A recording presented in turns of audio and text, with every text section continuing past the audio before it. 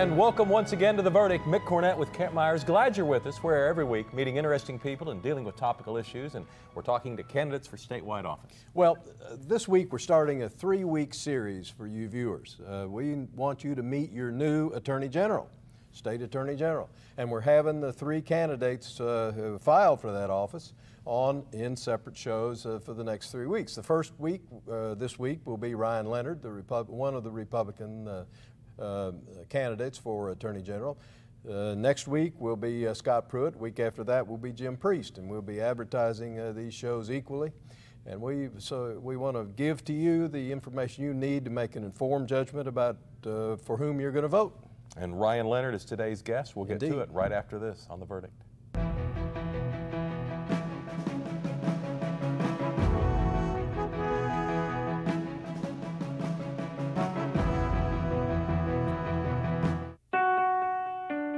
Natural gas is the gateway to a better world of energy. Instead of waiting, natural gas moves us forward now. Instead of finding ways to make dirty energy cleaner, natural gas simply is cleaner. We can use it to create our own energy, a wealth of new jobs, and keep more money here at home. Learn more at chk.com. Chesapeake, America's champion of natural gas. Hmm.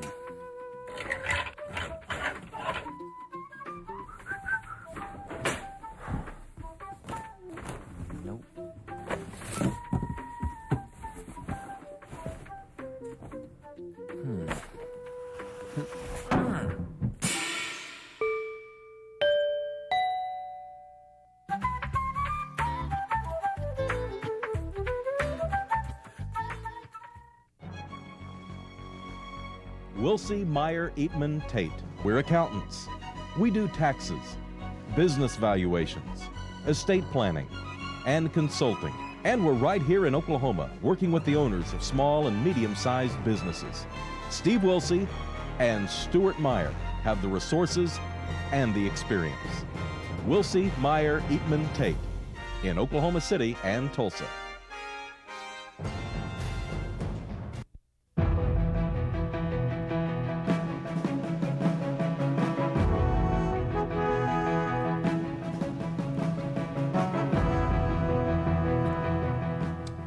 Back to the set of The Verdict. Mick Cornett with Kent Myers, and Kent's going to introduce today's guest. Really pleased today to have Ryan Leonard rejoin us. He's been on a couple of times before. Uh, Ryan is a Republican candidate for the office of Attorney General for the state of Oklahoma. Ryan uh, did his undergraduate work at Boston University, his law work at the University of Oklahoma. He grew up in the Oklahoma Panhandle, uh, in the Beaver area, the fourth generation uh, Panhandle uh, resident. Uh, he is a former senior aide to U.S. Senator Don Nickles. He was an assistant district attorney in Canadian County. Has been in a very success, successful private law practice here in Oklahoma City, and is now running for Attorney General on the Republican ticket, hoping to get your vote in the primary. Ryan, welcome. Ken, thank you. Mayor, thank you. Glad to have you. It's great to be here again. I don't have to tell any statewide candidate that this is a big state. Tell us about uh, the campaign trail. It is a big state. In fact, uh, in the last uh, 15 months, we have been to most of the counties many times. Uh, in fact, I was in Enid on Friday for I think what was our ninth trip to Enid, and I was thinking on the way up, I actually calculated it. If you calculate the miles, we actually have driven the equivalent of more than halfway across the country just driving to Enid and back. not, not to mention the, the, uh, the uh, we have been to most of the counties uh, a number of times. So uh, it's been a wonderful experience to crisscross the state. Uh, this is a critically important campaign. I've, I've really enjoyed. Uh, What, what are you hearing out there? What are, what are voters telling you? well, I think uh, people are concerned. I'm concerned, and frankly, it's one of the reasons I'm, I'm running. We're spending a lot of time talking about our very serious drug problem in this state. Uh, methamphetamine continues to be a very serious problem in this state. Public corruption is a real priority of mine. Uh, I believe that uh, there's nothing that violates the people's confidence in their public officials more and in their government than, than those who violate the public's trust. So we're spending a lot of time talking about that. I'm talking about what uh, I can do as the Attorney General to create jobs, to create a positive legal environment of certainty and consistency where we can grow our existing businesses and, and attract new businesses to the state.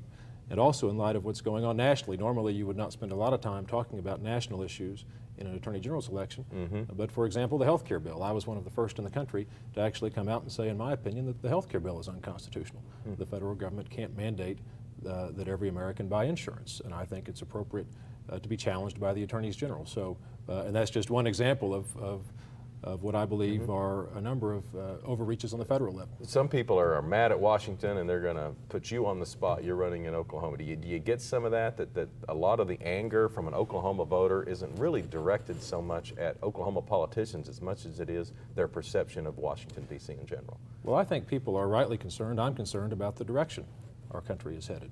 Are you talking budgetary? What, what are you talking part, morally? What, what, what, are you talking about? Part of it's budgetary uh, from a spending standpoint, and these aren't Republican and Democrat problems. Under the, under the Republican administration, we went from a $5 trillion debt to an $11 trillion debt. Now our deficits uh, nationally are a trillion and a half dollars a year. Every year in 10 years will be $25 trillion in debt. We are on an unsustainable course, and I think part of the reason what we've seen with the Tea Parties, I've been to a number of Tea Parties, spoken to a number of Tea Parties, uh, those aren't people who are Republicans or Democrats. Those are people who are concerned about the direction of the country. Mm -hmm. On many of these issues that raise both constitutional and legal issues, like the health care bill, I describe the attorneys general of the country really as the last line of defense in standing up and where you have a, a federal government that overreaches, uh, pushing back. And I think the health care bill is a real example of that. I'm going to ask uh, uh, Scott Pruitt the same question I'm asking you. Scott will be on next show. Uh, you have an opponent at the Republican nomination level. Uh, his name is uh, Scott Pruitt. How would you distinguish yourself uh, from Scott? Why should a Republican voter vote for Ryan Leonard instead of Scott Pruitt? Well, Scott's been a long time uh, friend of mine. the uh, I'm running. You, you mentioned my background at the beginning of the show. I'm a former state prosecutor. As you know, the Attorney General is the chief law enforcement officer of the state through the multi-county grand jury. I believe there's a real role for the Attorney General to step up and on issues like our serious methamphetamine problem. A lot of the issues we, we see now, uh, we're having meth come in uh, uh, from outside the country. Uh, issues that involve more than just the individual jurisdictions of the district attorneys. I believe there's a real role for the Attorney General to step up uh, and play a leadership role. I believe my experience, uh, the legislative time I spent working for former Senator Don Nickles in Washington, I handled most of his Oklahoma issues, had the it was really an honor to, to spend most of that time, many of those days working on the floor of the U.S. Senate uh, for Senator Nickles, uh, writing federal legislation uh, that benefited people here in Oklahoma. And in my private law practice, I have uh, fought the battles both in uh, state and federal court. Kent you and I have had a battle or two, uh, always very collegial. yeah, but you always won. That's well, I don't know. I about, like. I don't know about that. we'll have to go back and check the record. But so I believe my experience, both on the criminal prosecution side, a critical, critically important component mm -hmm. of the mm-hmm. job, in my opinion, and on the civil side. I fought the battles in state and federal court, and whether it's law enforcement or consumer protection, or really every issue that crosses mm -hmm. the desk of state government crosses the Attorney General's desk, regardless of the issue, uh, the battles will be oftentimes fought in court, and I believe uh, my experience uh, qualifies uh, me to do just that for the people of the state. The environmental issues that have been going on in northeast Oklahoma primarily, how, what are voters up there wanting to hear about from the Attorney General's office? Well, uh, General Edmondson has taken a, uh, a very proactive role, uh, which frankly is, uh, uh, you know, Drew is uh, enforce, the job of the Attorney General is to enforce the law of the state. Five years ago, a lawsuit was filed against several out-of-state poultry manufacturers, um, poultry producers. We all want clean water. Um, that case is, uh, is in court uh, under consideration by the federal judge there. I think that case will be resolved. Parts of it may, may be on appeal. Obviously, we all want clean water in the state, critically mm -hmm. important. We also want to create jobs in this state. Uh, you know, I believe, as I said earlier, the job of the Attorney General is to create a legal environment, a positive legal environment, where when issues arise, we try to resolve those in as constructive a manner as possible. Uh, so with regard to that issue, I'm monitoring it very closely and will continue to do so, and we'll see where it ends up uh, after, uh, after the election. Hmm. As a fourth generation Oklahoman and a, growing up in the Panhandle. Uh, how has that uh, molded uh, Ryan Leonard into the guy he is today? Well, I'm a, I'm a native of Beaver, as you mentioned. Beaver is a small town, about 2,000 people, uh, the first county in, in the Panhandle. My grandfather, actually my great-grandfather, went to western Oklahoma in 1903 as a minister. They needed a minister in the territory, and that's how my family got to Beaver. I grew up working on the farm uh, with my grandfather. I earned my, my Eagle Scout uh, that, while I was in Beaver. and uh, you know, I, I, built a lot of fence. In fact, some of that fence still stands. I learned a lot about hard work. Uh, I learned a lot about uh, uh, honesty and integrity. Very hardworking folks in the Panhandle. I'm very proud of my heritage there. We still have land uh, in the Panhandle, Uh, so uh, I really value uh, the experience. We also, I spent 14 years in Beaver and then came down and went to high school in Oklahoma City. So I kind of saw both both worlds, but. Um, I loved my experience growing up in the Panhandle and spent a lot of time. Uh, in fact, I can tell all of my grandfather's stories. He farmed during the dirt storm years of the 30s, and I learned a lot from him. Uh, and sometimes maybe maybe a little bit too much about it about things like uh, independence. There was a time in life where maybe that was uh, maybe too much uh, uh, too much of that. But it's um, I loved Western Oklahoma. It's where I'm from, and it's it's a very fundamental part of who I am. Mm -hmm. Uh, tell us about what you're going to do. I looked at your website. Tell us about what you want to do about protecting families and children uh, from uh, dangerous criminals and drugs. I want to show up at the office every day and fight for the people of the state, which first and foremost, I believe, is the job of the state's attorney general. Uh, my wife, Carrie, and I have three young kids. Uh, frankly, of all the things that I worry about as a parent, uh, drugs is one of the most, and we need to keep our streets uh, and schools safe from drugs, uh, safe from child predators, people who prey on our children on the internet.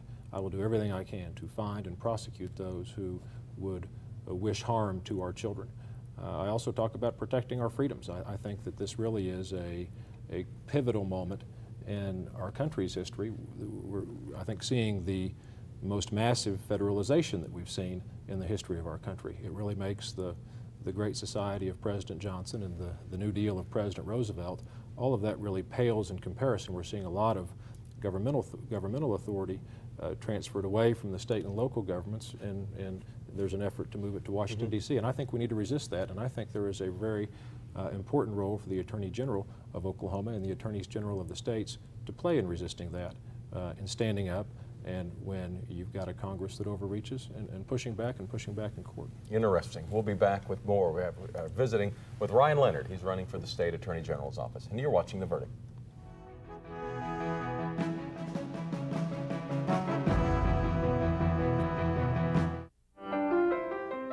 Is Wyatt Parker. I am 20 years old. I am a composer and I am a Chickasaw. The way I prefer to express myself is through music. I like all the obvious guys, you know, Mozart, Beethoven. The way that I like to come up with music is really not to come up with it at all. I just like for it to kind of appear in my head. It's about listening. Uh, you have to be a good listener in music as in life. I would say the Chickasaw Nation stands for its people. I would want to be known as a Chickasaw composer who is trying to do great things with music. With all the opportunities that the Chickasaw Nation is offering its people, it's a great time to be a Chickasaw. What's your idea of security?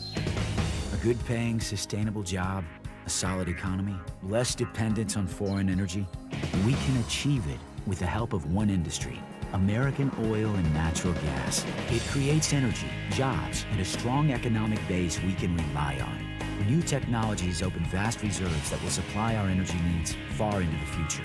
Because security, by every definition, is worth protecting.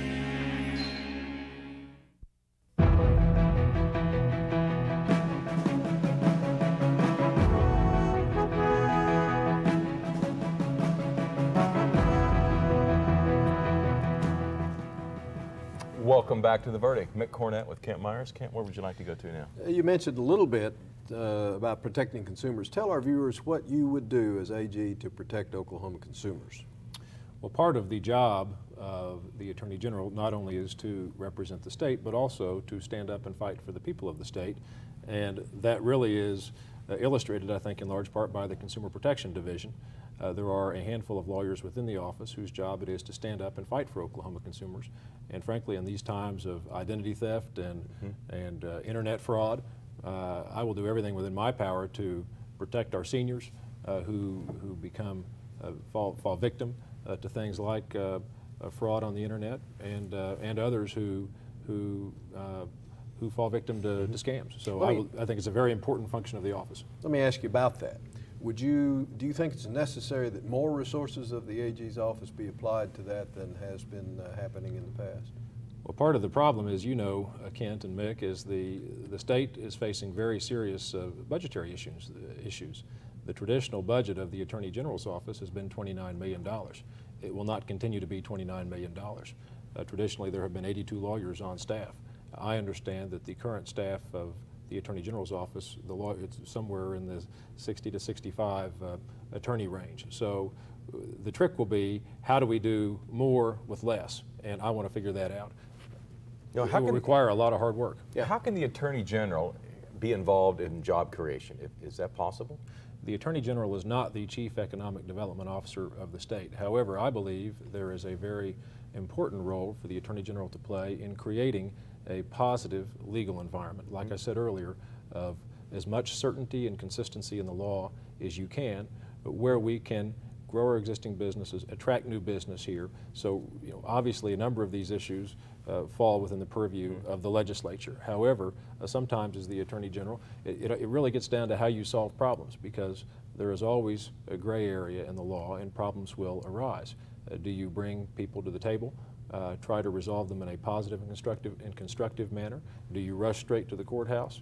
Uh, all of those things uh, uh, matter in creating a positive legal environment, in my opinion. Sometimes you have no choice but to go to the courthouse. Do you consider yourself pro-business? I do consider myself pro-business. I'm pro-Oklahoma. Uh, You mentioned just briefly that you're going to have a zero tolerance for public corruption, but how would you implement a zero tolerance for public corruption? What would you do? Well, I think what we've seen uh, the last uh, uh, six uh, months to a year, and obviously these are challenging economic times, we have seen a number of instances of individuals who are public employees uh, who have either had their hand in the and embezzled money uh, from the state. In my opinion, when you do that, you need to be made an example of because I, I believe that the public officials should be held and must be held to a higher level. So when someone violates the public trust, uh, most times uh, probation, in my opinion, is not appropriate.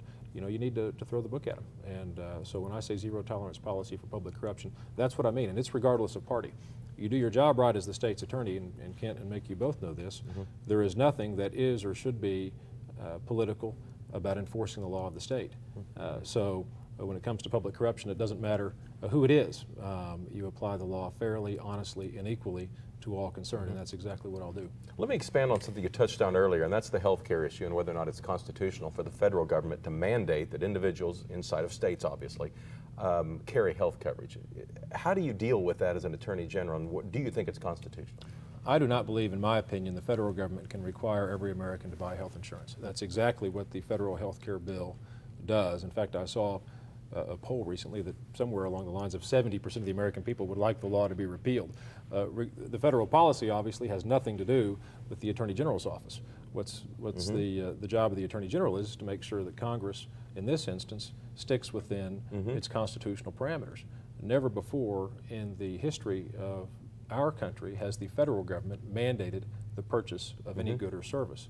The state government can require the purchase of such things as car insurance Right. because I think a lot of people don't see the difference there, but what you're saying is that's a state requirement. It's a state requirement. Are you saying that the state could require health insurance? Well, I'm not saying that. Driving is a driving is a privilege, not a right. Um, There- okay, fair that, enough. That theoret- you know, that's a hypothetical that I think would have to be explored. I don't think we'll see the state of Oklahoma requiring health insurance anytime soon.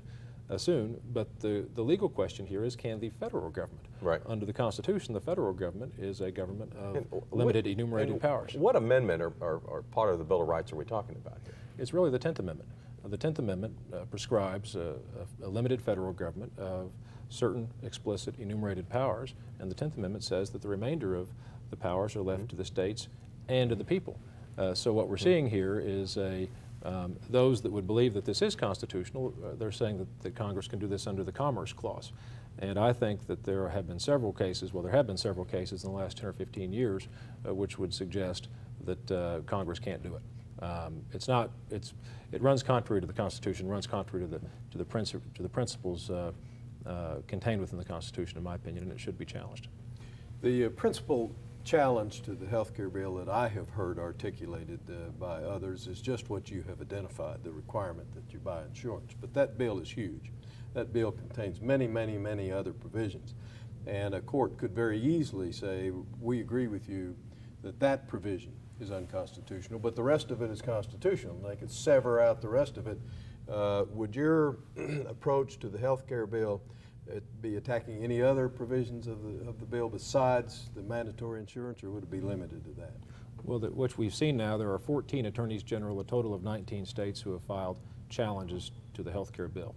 Uh, I think the individual mandate is the principal uh, legal issue. Yeah. Uh, other legal issues have been raised, but I think the, the principal legal issue is the individual mandate. Uh, however, if you take the individual mandate away, the economics of the bill don't work.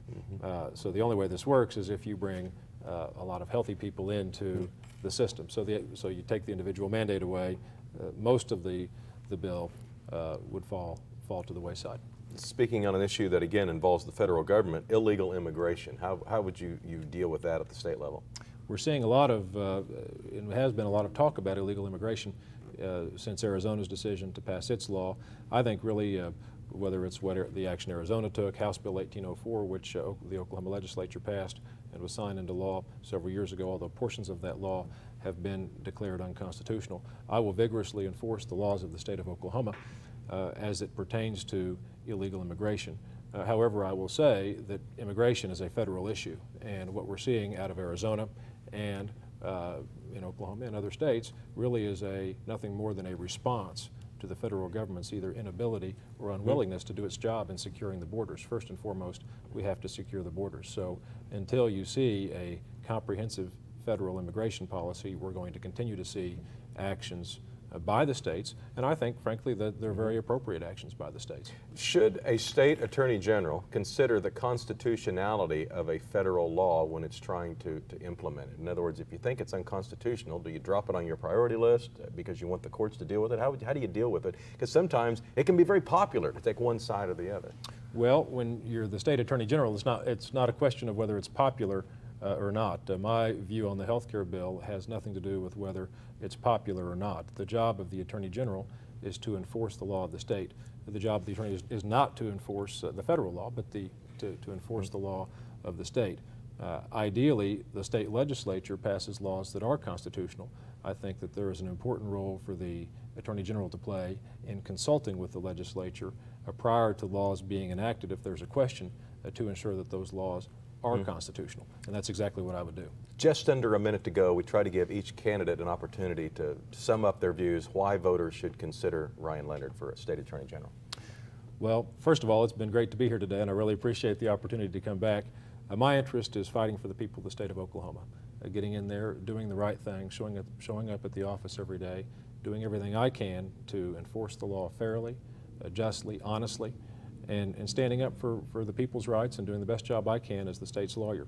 Uh, I believe my experience uh, both in the state, uh, in federal courts, and as a state prosecutor, and my time working in Washington, in addition to uh, my time uh, having grown up in western Oklahoma. I learned a lot uh, growing up in western Oklahoma and in rural Oklahoma. Um, but really, fundamentally, my interest is getting in there and fighting, fighting for the people of the state, enforcing the law, cracking down on our drug problem, prosecuting those who violate the public trust, doing everything I can to create jobs as the state's attorney general. And on these federal issues, I really believe that these are momentous times in our country. And I think it will require a strong attorney general to stand up and push back when Congress overreaches, and that's exactly what I'll do. Ryan Leonard is running for state attorney general for Oklahoma. Ryan, thanks for coming on the verdict. Thank you very much. Thank you so All right. much. Great to be here. Kent and I'll have a final word right after this.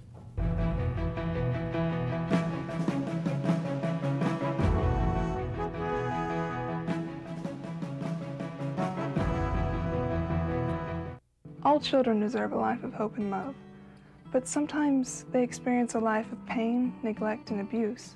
When that happens, each child deserves all the quality assistance and representation that can be offered in our legal system. For more information, call 23-CHILD. Oklahoma Lawyers for Children, helping to bring hope and love back to the lives of abused children.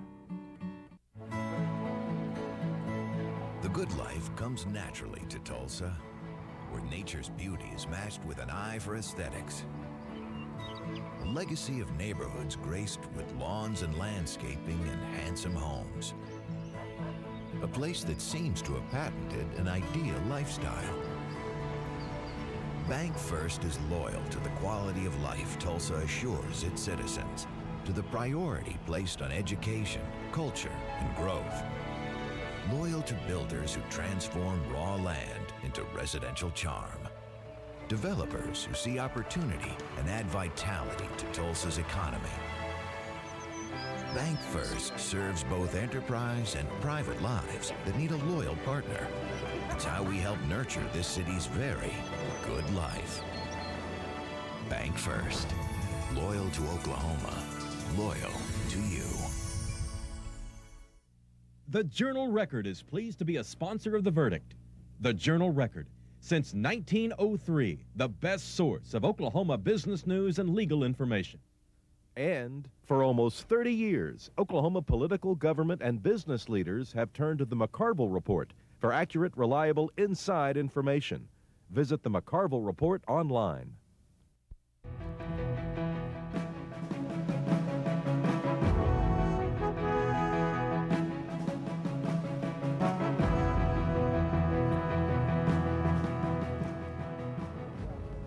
Welcome back to the set of The Verdict. We are wrapping up a show with Ryan Leonard. He's a candidate for Attorney General for the state of Oklahoma. Yeah, the first of our three candidates for uh, Attorney General. Folks, you're going to see your new Attorney, Attorney General on the verdict uh, this week, next week, or the next week. Mm -hmm. Because next week we've got uh, the second candidate coming up, Republican uh, Scott Pruitt. The week after that, we'll have uh, the Democratic candidate, uh, Jim Priest. So we'll give our viewers all three. Those guys are crisscrossing the state, uh, giving speeches, uh, kissing babies, trying to raise money. I can't imagine uh, what, a, what a chore it is to, to run a statewide office, and, and this is a, a, fairly contested race as well. Well, it, it, indeed, in this kind of a budget year and mm -hmm. all the things they have to deal with, they are really running hard, and they're trying to let our viewers know what they'll do if elected, and they, they will have a lot to do, that's for sure. Well, this show is dedicated to Ryan Leonard. His website is ryanleonard2010.com. That's ryanleonard2010.com. And I want to pass on some website information for our show. If you have an idea for a, an upcoming topic, let us know. Go to theverdict.tv and send it to us. For Kent Myers, I'm Mick Cornett. We'll see you next week.